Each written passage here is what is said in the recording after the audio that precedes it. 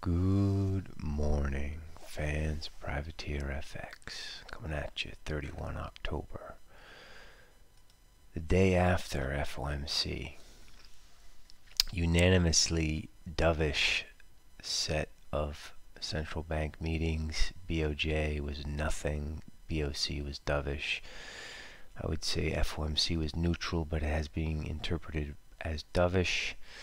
Plus, there are other flows helping to weaken the dollar, um, namely month-end flows. So here we are. Uh, let's check a look at this euro. We traded up to 70.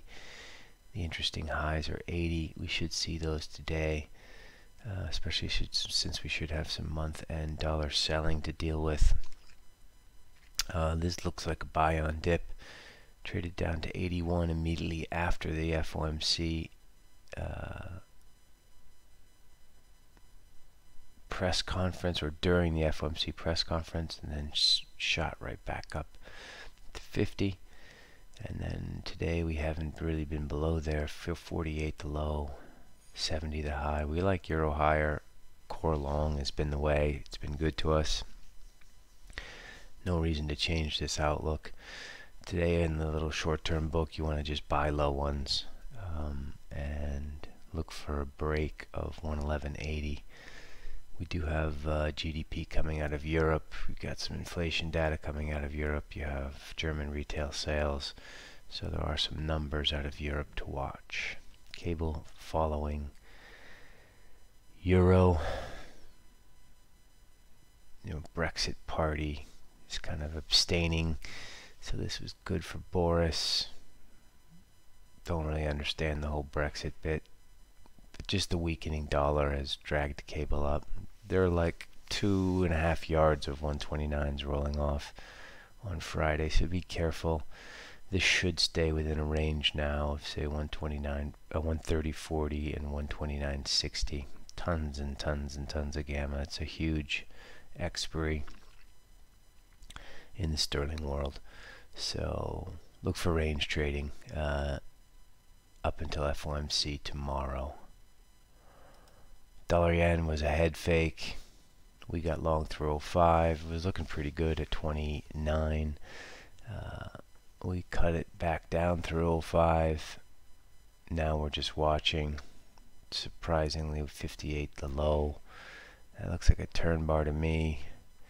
What I do know um, also is that 10930 is a massively important technical point and will be the point where anyone who went short today or yesterday will stop out about 109.30 and anyone who's neutral and wants to get long at the right time will get long through this. So this is a key point 109.30 euro yen uh, interesting interesting chart. 121.50 very very important now. That looks like a break trade Dollar ZAR, we talked about the budget yesterday, banged up through, it was trading at 60, uh, through 66, and then never turned, never looked back. We paused up at 1506, uh, traded up to 1512 at FOMC. This is going to go to 1550 and higher. Moody's is likely to downgrade uh, South Africa on Friday. If they do, uh, run for cover. Close all the windows and shutters. South Africa, as it's prone to do, has fucked this up. Um, I don't know. Bad management. What can you say? And it's going to get punished uh, by the market this week. We're all waiting on Moody's. It'll be late on Friday before they uh, decide but it's notoriously leaky uh, what Moody's is doing. So you'll see you'll see the price sort of indicate what's going to happen before it happens. Let's look at Aussie through 69 the figure is broken in the overnight session. We did not participate uh, but this is important. A daily close above 69 and this has lots of fresh air. A little bit extended now I'll have to see how the day goes. There should be dollar selling, so picking up some some Aussie between 10 and the figure. Looks like a smart deal uh, from where we sit. Dollar CAD, on the other hand, surprisingly dovish BOC.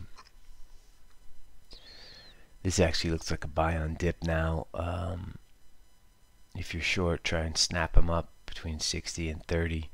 If you're neutral, try and get long between 60 and 30. And if you're bullish, you're already long. You probably paid figures yesterday uh, and just sit tight. What else? Stocks.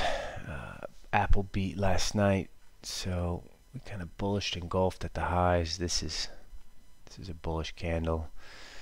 Um, we are still going to be looking on the short side. We had 59s in, we canceled them. Now today we have 60. Uh, I'm sorry, we had 49s in last night. We canceled them. Today we have 59s in. We talked about the beginning of the week. We're looking for a 1% move above the all-time highs, which is 3060. Uh, we will try some tepid shorts on the fade. But now our first point to really get stuck in is down below 3024 and more importantly below 3000. It's like 3000 leagues under the sea or Sparta 3000. I think there are only 300 of those guys though, but anyway, 3000. Let's take a look at that when we see it.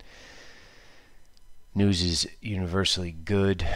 Uh, the market interpretation is universally dovish didn't really make a ton of sense to us, but we're not gonna we're not gonna fade the flock on this.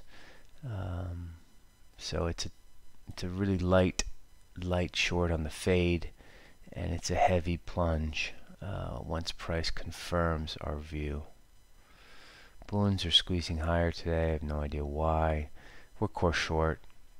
You know, we're just core short kind of forever now. Um, you can resell this up at 132 on the day today. Uh, Bunds we think are going to head, you know, down to 164. So we still got another 700 points here in Bunds. Uh, patiently short is the way we go. We have inflation data, PCE, uh, employment cost index out of the U.S. We also have inflation data out of Canada keep in mind for those of you who are long dollar ZAR, uh, we have trade data out of out of that country uh, midday today, uh, and it is month end. We are expecting dollar selling today at the fix, and the buildup in the afternoon uh, will likely be dollar selling. Good luck out there, people. Make some dough. You deserve it. I will uh, talk to you tomorrow, FNFP. Oh yeah, also, the guy who runs this thing in Ireland is hassling me. We need more subscribers, so please subscribe. Hit the like button, whatever you're supposed to do on YouTube. Um, we need a thousand subscribers, he told me, or else this channel is, there's no point in making it public. So we have like 300 something. Um, so call your ex-girlfriend and tell your dog and all of your children to subscribe. It's much appreciated. Ciao.